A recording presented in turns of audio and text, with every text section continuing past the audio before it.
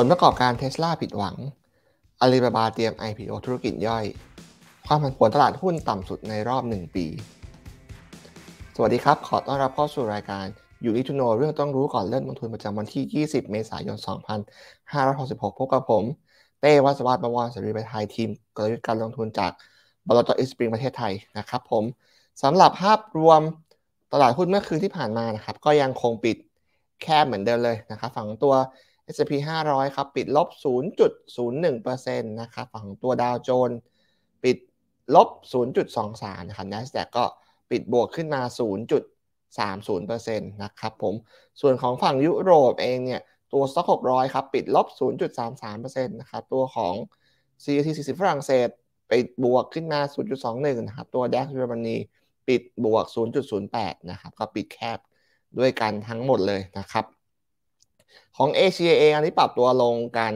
ทั่วหน้านะฮะตัวญี่ปุ่นเนี่ยปิดลบลงมา 0.18 นะครับ CI 300 ติดลบ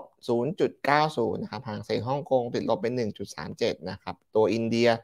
ติดลบ 0.27 นะครับ ตัวหุ้นไทยเองก็ติดลบมา 0.82 นะครับ ของอินโดเมื่อวานเป็นวันหยุดนะครับ ปิดไปนะครับ เวียดนามติดลบ 0.79 นะครับก็เซนติเมนต์ของหุ้นเอเชียเองถูกกดดันจาก ตัวของสหรัฐอยู่ที่ปิดลบมาบางๆต่อเนื่องหลายวันนะบ้านเราเองก็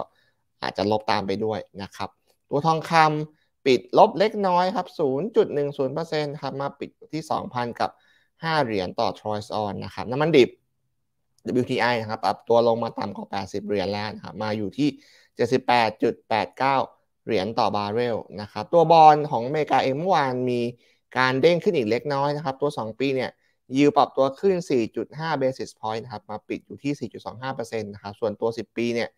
ยิวปรับตัวขึ้น 1.5 basis point นะครับ มาปิดอยู่ที่ 3.59%นะครับสำหรับตัวเศรษฐกิจเมื่อคืนที่ผ่านมานะครับ ก็ไม่ได้ถึงกับมีตัวเลขอะไรสำคัญมากมายนะครับ ตัวของญี่ปุ่นเองเนี่ย จะมีการประกาศตัวเลขของ industrial production นะครับ เดือนกุมภาพันธ์ออกมาดีกว่าคาดนะครับ คาดว่าจะโต 4.5 นะครับ ก็ออกมา 4.6 แล้วก็ดีกว่า เดือนมกราคมเดือนมกราคมเนี่ยหดตัวไปถึง 5.3%เลยนะครับ ส่วนของอังกฤษเองมีตัวเงินเฟ้อนะครับ CPI ทางเงินเฟ้อผู้บริโภคเนี่ยถ้าเป็น year on year นี่ออกมายังเกิน 10 อยู่นะครับ10.1%เลย แล้วก็สูงกว่าคาดด้วยนะครับคาดไว้ 9.8 นะครับ แต่ว่าข่าวดียังมีอยู่นิดนึงก็คือมันลงมาจากช่วงเดือนก่อนนะครับที่อยู่ 10.4 นะครับผมส่วนถ้าเป็นมันออนมันนะครับออกมาสูงกว่าคาดเหมือนกันครับ0.8% ส่วนคาดแค่ 0.5 นะครับ แต่ก็ข่าวดีก็คือมันเริ่มโตในอัตราที่น้อยลงแล้วนะครับ เพราะว่าเดือนก่อนโตไป 1.1%เลยนะครับ ส่วนในแง่ของเงินเฟ้อผู้ผลิตของอังกฤษเองออกมาโต 0.2 นะครับ คาดว่าจะหดโต 0.3 นี่ก็ไม่ค่อยดีเท่าไหร่นะครับแถมพุ่งขึ้นกว่าเดือนก่อนหน้าด้วยนะครับ0.0%ก็เมื่อไหร่ที่เงินเฟ้อผู้ผลิตยังเรียกตัวขึ้นอยู่ เดี๋ยวมีโอกาสที่มันจะส่งผ่านต้นทุนมายังฝั่งผู้บริโภคได้นะครับอังกฤษเองก็อาจจะยังต่อสู้กับเงินเฟ้อไม่ได้จบอะไรมากมายนะครับผม ข้ามาฝั่งตัวยุโรปเองนะครับยุโรปมีเงินเฟอ้อเหมือนกันนะครับของเดือนมีนาคม ตัวเงินเฟอ้อพื้นฐานของยุโรปเนี่ยออกมาอินไลน์ครับ 5.7%เลยนะครับ แต่ว่ายังสูงกว่าเดือนก่อนหน้านะที่ 5.6 นะครับ ก็เป็นหนึ่งที่ ECB เองยังต้องขึ้นดอกเบี้ยต่อแหละ เพราะว่าตัวเงินเฟ้อพื้นฐานยังคงเร่งตัวขึ้นต่อเนื่องนะครับ แต่ถ้าไปดูเงินเฟ้อตัว headline ครับ CPI มาออนมันเนี่ยออกมา 0.9 นี่อินไลน์นะครับ แล้วก็สูงกว่าเดือนก่อนหน้าเล็กน้อยนะครับที่ 0.8 นะครับ แล้วก็ถ้าเป็น ยีอันยีออกมาเหลือ6.9แล้วนะครับอันนี้ต่ำกว่าคาด เอ้ยไม่ใช่ต่ำกว่าคาดครับเท่ากับคาดเลยแต่ต่ำกว่าเดือนก่อนหน้าที่8.5นะครับเงินเฟ้อยุโรปถ้าตัวเฮดไลน์จะเริ่มลงแล้ว แต่ว่าตัวคอยังขึ้นอยู่นะครับยุโรปเองก็ยังมีความเสี่ยงเรื่องเงินเฟ้ออยู่เพราะว่ายุโรปเองแกนำเข้าพลังงานนะทั้งก๊าซทั้งน้ำมันเนี่ยค่อนข้างเยอะมากนะครับซึ่งน้ำมันมันดีจาก70ไปเป็น80เงินเฟ้อตัวเฮดไลน์เนี่ยอาจจะเห็นเด้งขึ้นมาได้อีกในช่วงเดือนแบบมีนาเมษาพฤษภาคมนี้อาจจะเห็นมันมันก็ขยับตัวสูงขึ้นได้เหมือนกันนะครับ ส่วนสำหรับข่าวอื่นๆนะครับผมก็ไปดูเรื่องของตลาดหุ้นก่อนนะตลาดหุ้นจริงๆแล้ว อย่างที่เล่าไปครับว่ามันค่อนข้างปิดแค่มาหลายวันนะครับ ถ้าไปดูจริงๆแล้ว ตัวของ Wix Index นะครับก็ชื่อเต็มคือตัว Chicago Board Option Volatility Index นะครับก็จะเป็นหนึ่งที่เอาไว้วัดความผันผวนของตลาดหุ้นที่อเมริกาแต่ก็จะเห็นมาตอนนี้เองเนี่ย Wix Index ครับมันลงมาต่ำที่สุดในรอบกว่า 1 ปีแล้วนะครับกลับมาอยู่ในเทรน ต่อเนื่องมาจากช่วงปี 1819แต่ช่วงก่อน pre covid นะครับก็ทำให้ตอนนี้เราเองอาจจะได้เห็นตลาดหุ้นเนี่ยวันหนึ่งบวกลบกันค่อนข้างน้อยนะครับกลับมาเป็นปกติแล้ว ไม่ได้ผันผวนเหมือนช่วงโควิด หรือช่วงที่มีการล็อกดาวน์การ reopening อยู่นะครับอันนี้ก็เป็นข่าวหนึ่งที่เราต้องได้เห็นภาพรวมการลงทุนต่างๆ ในของของทั้งโลกนะครับกลับมาเป็นปกติมากขึ้นแหละนะครับก็เป็นหนึ่งที่ช่วงนี้เองอาจจะ trading ลำบากหน่อยเพราะว่าหุ้นมันขยับมันค่อนข้างแคบมากๆนะครับสำหรับข่าว เศรษฐกิจอื่นๆ ก็เมื่อวานนะครับมีการประกาศตัวงบของเทสลาออกมานะครับก็อาจจะผิดหวังนิดหน่อยนะครับเทสลาเองเนี่ยประกาศงบไตรมาสหนึ่งนะครับก็พลาดเป้าในฝั่งของตัวกำไรนะครับเพราะว่าเพราะว่าจริงเทสลาเนี่ยถ้าจำมันได้ครับมีการเขาเรียกว่าออกมาลดราคารถยนต์เนี่ยค่อนข้างเยอะมากครับโมเดล Y นะครับที่เป็นกึ่ง SUV เนี่ยราคาถูกปรับลดลงมา 29%ใน 3 เดือนเองนะครับผมก็เป็นหนึ่งที่ พยายามตัดราคากับคู่แข่งในจีน เพื่อจะให้ตัวเองมี market share เยอะขึ้นเหมือนเดิมนะครับ ก็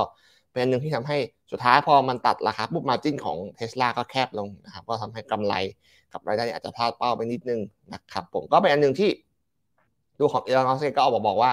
แกก็มี room ให้ cut แหละเพราะ margin ของเทสลาเนี่ยค่อนข้างสูงมาก ก็สามารถ cut ได้เพื่อแข่งกับคู่แข่งของเจ้าอื่นๆนะครับก็โดยรวมเนี่ยงบของเทสลานะครับถ้าไปดูตัว EPS ออกมา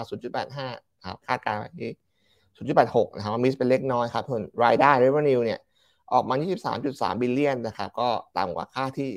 3.78 billion นะครับผมก็ภาพรวมมันอาจจะดูไม่ค่อยดีเท่าไหร่ในตัวของ bottom line นะครับ แต่ว่ายังมีกำไรอยู่นะ แต่ว่ามันอาจจะต่ำกว่าคาดนะครับ ส่วนในแง่ของการส่งมอบรถยนต์นะครับ ก็ยังคงทำ new high ต่อเนื่องนะครับ ที่4 0 0 0 0 2นะครับในช่วง Q1 นะครับ ส่วน การผลิตนี่ก็ขึ้นมาเป็น 4 4 0 0ครับ ก็ทำนิวไฮต่อเนื่องเลยนะครับสำหรับการส่งออกรถยนต์และการผลิตรถยนต์นะครับผมส่วนตัวของ Outlook เนี่ย ทาง Tesla ก็ให้ไกด์ไลน์ว่าปีนี้น่าจะบรรลุเป้าหมาย 50% CAGR ได้เหมือนเดิมนะครับมาสัก 1.8 ล้านคันในปีนี้ที่ส่งมอบได้นะครับ ก็ยังคงคิด target long term อยู่เหมือนเดิมนะครับ แล้วก็เรื่องของตัวรายได้ครับเขาก็หวังว่าจะมีรายได้จากฝั่งของการขายซอฟต์แวร์เนี่ยเข้ามาช่วย จากตัวฮาร์ดแวร์มากขึ้นเรื่อยๆแล้วนะครับส่วนเรื่องของการผลิตตัวรถยนต์รถบรรทุก Cybertruck นะรถกระบะนะฮะก็จะเป็นไปตามแผนเหมือนเดิมคือในช่วงปลายปีนี้ครับในจะผลิตที่ Gigafactory ในตัวของเท็กซัสนะครับก็ภาพรวมพลาดเป้าไปหน่อยนึงนะครับไม่ไม่ถึงกับเลวร้ายมาก เพราะว่ามีการ cut ราคาแข่งกันนะครับเพื่อจะรักษาตัว Market Share นะครับส่วนอีกตัวหนึ่งที่มีการประกาศมาคือตัวของ IBM นะครับอันนี้ตัวของ IBM เนี่ยกำไรออกมาดีกว่าคาดนะครับ EPS เนี่ย ออกมาอยู่ที่ 1.36 เหรียญต่อหุ้นนะครับ ตัว revenue เนี่ยออกมาต่ำกว่าคาดเล็กน้อยครับ14.3 billion ดอลลาร์นะครับคาดการณ์ว่า 14.37 นะครับ ก็ภาพรวม IBM ถือว่ายังค่อนข้างแข็งแกร่งนะครับธุรกิจเกี่ยวกับพวก Hybrid Cloud platform ต่างๆ เรื่องของ AI ต่างๆ ก็ถือว่าในช่วงที่ตลาดพวกของคลาวอาจจะซบเซาหน่อยในตั้งแต่ปีที่แล้วครับ IBM ถือว่ายังค่อนข้างกินอยู่ได้ครับ ตัว growth เอง revenue ก็ค่อนข้าง flat นะครับ ไม่ได้ถึงกับติดลบลงมามากมาย net income นี่บวกขึ้นมา 26%นะครับ ตัว EPS กำไรเนี่ยบวก 25%ด้วยนะครับก็ถือเป็น earning ที่ค่อนข้างแข็งแกร่งมากๆในปีนี้นะครับสำหรับตัว IBM อีกตัวหนึ่งที่ออกมาคือกลุ่มของตัวธนาคารนะครับประกันเซเล่เนี่ยออกมาดีกว่าคาดหมดเลยทั้งตัว EPS แล้วก็ตัว revenue นะครับ EPS ออกมา 1.7 นะครับ คาดการไว้ 1.67 ส่วน revenue เนี่ยออกมา1 14.5 billion นะครับ คาดไว้ 14 billion เท่านั้นเองนะครับ แต่ว่าภาพรวมเนี่ยอาจจะ revenue นะฮะอาจจะแบบ ต่ำกว่าช่วงไตรมาสก่อนนะสองเปอร์เซ็นต์นะครับ net income ต่ำกว่าของเดิม 20%นะครับ ตัว EPS ต่ำกว่าของ16%แล้วแต่ภาพรวมเนี่ย ก็คือถือว่ายังออกมาดีกว่าคาดนะครับในกลุ่มของตัวตัวแบงก์ Morgan Stanley เองนะก็ธุรกิจต่างๆของตัวMorgan Stanley ถือว่ายังค่อนข้างเติบโตได้ดีอยู่นะครับจาก comment ของคุณเจมส์นะครับ CEO นะครับก็มีแค่ฝั่งของตัวที่เป็น investment banking นะครับ ก็อาจจะค่อนข้างยากลำบากนิดนึงนะครับในในปีนี้นะครับจริงๆก็ กระทบมาหลายไตรมาสแล้วแหละสำหรับตัวตัว investment banking ของหลาย ๆ แบงก์ที่อเมริกานะครับแต่ภาพรวมก็คืองบแบงก์ของอเมริกายังออกมาค่อนข้าง ถือว่าแข็งแกร่งอยู่ยังไม่ได้มีผลกระทบจากเรื่องของตัว SVB เท่าไหร่นะครับผมสำหรับข่าวอื่น ๆ ของช่วงเมื่อคืนที่ผ่านมานะครับ ก็จะมีอย่างเรื่องของตัวอาลีบาบานะครับจะมีการเข้ามา IPO ตัวธุรกิจย่อยของเขาคือตัวของ Fresh Hippo นะครับเป็นธุรกิจเกี่ยวกับขายอาหารสด นะครับก็ขายกุ้งล็อบสเตอร์ปรุงสุกกับพวกปลาเก๋าคือช้อนที่มันสดๆแล้วก็ปรุงกันตรงนั้นเลยนะครับก็จะมา IPO อยู่ในตัวของตลาดหุ้นฮ่องกงนะครับซึ่งมูลค่าของการ IPO ยังไม่ได้มีการเคาะออกมาว่าจะอยู่ที่เท่าไหร่นะครับจริงๆแล้วอาลีบาบาเองก็เพิ่งจะประกาศ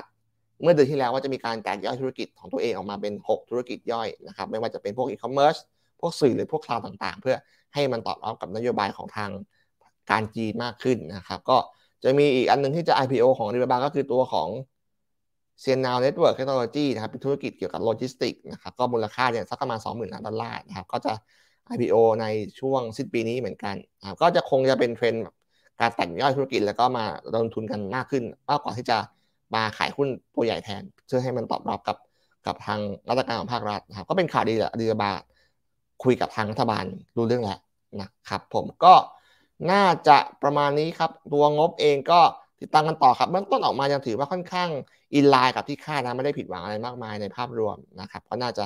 ทำให้หลายหุ้นทรงๆอยู่ในช่วงนี้นะครับผมสำหรับวันนี้ผมและทีมงานของย่าลาไปก่อนพบกันใหม่คลิปหน้าสวัสดีครับ